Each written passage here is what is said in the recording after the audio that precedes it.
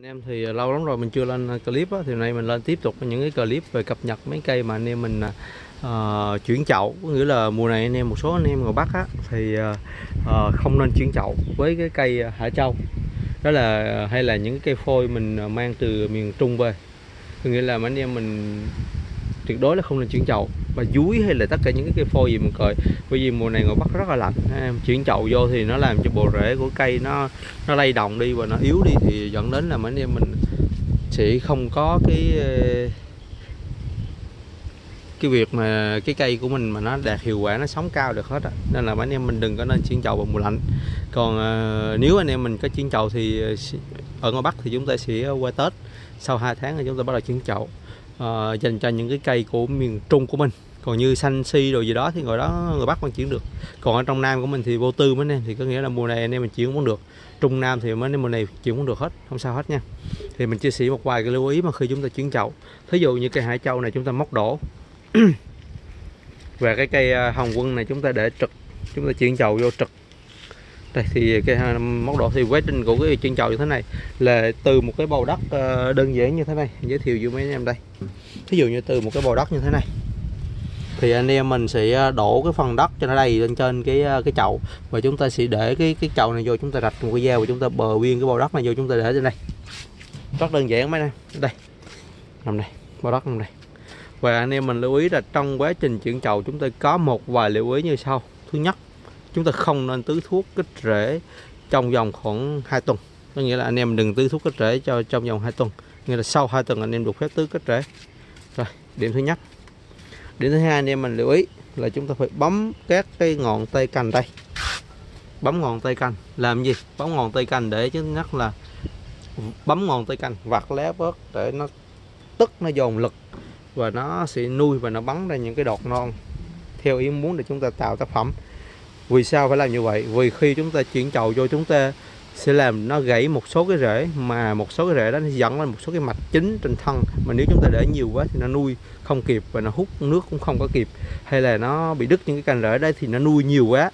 Nó nuôi nhiều quá thì dẫn đến nó bỏ chi là một khô thân, tay cành là hai.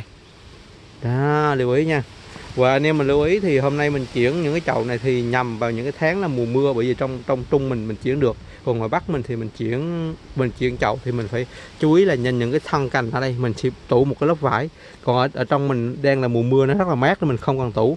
Còn mấy anh em ở ngoài đó nếu mà mình chuyển vào mùa nắng thì buộc phải tủ cái lớp vải trên này.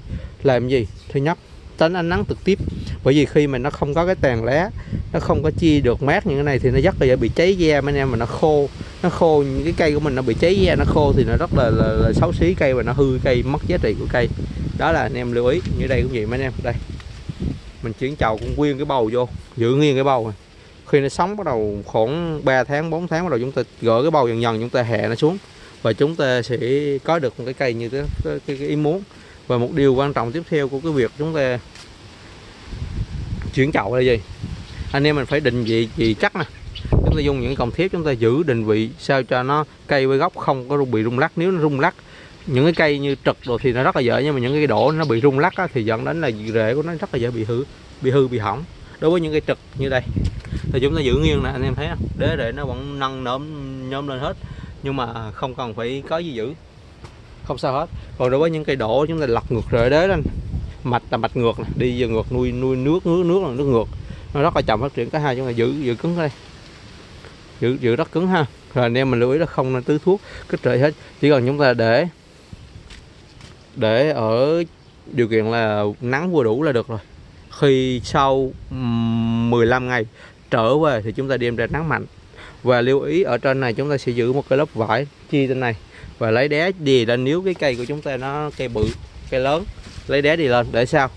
Cây không bị bật gốc hay là nó giữ lại cái miếng vải này khi chúng ta tưới nước nó không bị xói đất nó bong lên, bong tróc cái lớp ờ, đế lên. Đó là những cái điều mà chúng ta chuyển một cái cây phôi qua một cái chậu đối với cây đổ. Còn cây trực thì nó dễ rồi cái trực nó rất là dễ cái trực anh em làm cũng nhiều được hết. Nhưng mà đối với cây hải châu như mấy em, riêng đây là cây hải châu. Cây hải châu. Còn như những cái cây này đơn giản bình thường đây. Mình chuyển là mình nghe ha. Vẫn chuyển, vẫn giữ qua hết. Rồi bắn bóng mình cắt đèn bỏ đi.